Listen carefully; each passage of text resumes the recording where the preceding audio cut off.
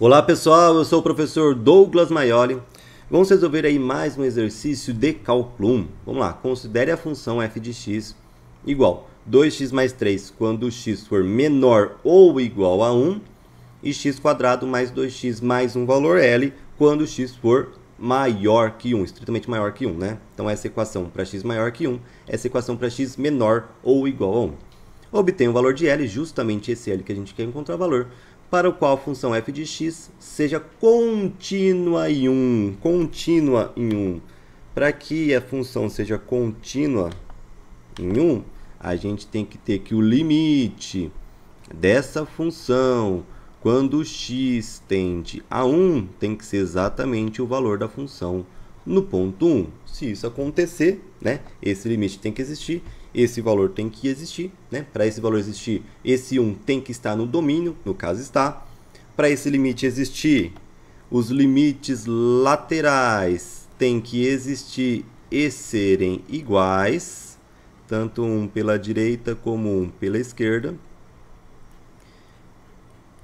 Se esses limites laterais existem e são iguais, e então esse limite existe, vai ser esse valor que a gente encontrou aqui. Se esse valor existe, os dois são iguais, a função é contínua. O f de 1 dá para a gente calcular né, o f de 1 fácil, porque quando que é o f de 1? É o seguinte, 1 entra aqui ou 1 entra aqui, né? O x igual a 1 entra aqui, né? Ó, que aqui é menor ou igual. Então f de 1 é só pegar a equação de cima, 2x mais 3, e troca o x por 1. 2 vezes 1, 2, mais 3 dá 5, tá? Então, ou seja, para que a função seja contínua, esse limite tem que ser igual a f de 1, e o f de 1 eu sei que é igual a 5, ou seja, esse limite tem que ser igual a 5. Agora, eu tenho que ver se os limites laterais são iguais e os dois têm que ser igual a 5 para aí sim ela ser contínua.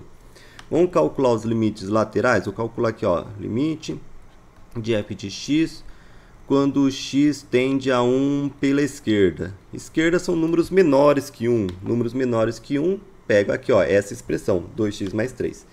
Então, quando o x tende a 1 pela esquerda, o f de x vale essa expressão 2x mais 3. Eu vou trocar o x por 1. Cuidado que não é o x por menos 1, porque esse daqui não é o menos 1. É um positivo, mas indo para um positivo pela esquerda. Tá? Cuidado com isso. Mais 3, 2 mais 1.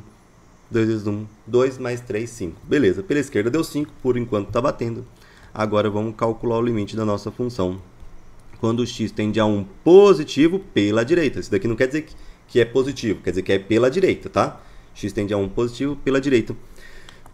A direita de 1 são números maiores que 1. Números maiores que 1 vale essa expressão aqui, x² mais 2x mais l. Então, como x está tendendo a 1 pela direita, pela direita de 1, o f vale essa expressão, 2x² x² mais 2x mais L, eu quero calcular o limite quando x tende a 1, vou trocar esse x por 1 aqui, mais L. 1 ao quadrado é 1, 2 vezes 1 é 2, 2 mais 1 é 3, vai dar 3 mais L. Agora, olha só, esse limite aqui, ó, esse limite de f de x, quando x tende a 1 pela direita, para ser contínuo, ele tem que ser igual ao limite pela esquerda, para o limite existir, que é 5, e aí fica igual ao valor da função, que é 5. Então, esse limite aqui pela direita tem que ser 5 para ser contínuo, tá? Só que esse limite, a gente viu que é igual a 3 mais L. Ou seja, isso implica o quê? Que 3 mais L tem que ser igual a 5. Ou seja, passo 3 para o outro lado subtraindo, 5 menos 3, 2 o valor do L tem que ser 2. Aqui, ó, a resposta. O L tem que ser 2 para que o limite pela direita, quando x tende a 1, seja 5, ou seja, o mesmo valor do limite pela esquerda, 5, para os limites existirem serem iguais, e além disso, esse limite ser igual ao valor da função no ponto 1, que também é 5. Então, para a função ser contínua, só tem um jeito, se o L for 2. Se o L não for 2, a função já deixa de ser contínua mais um exercício de cálculo 1. Próximo vídeo, mais exercícios aí resolvidos. Abraços e bons estudos.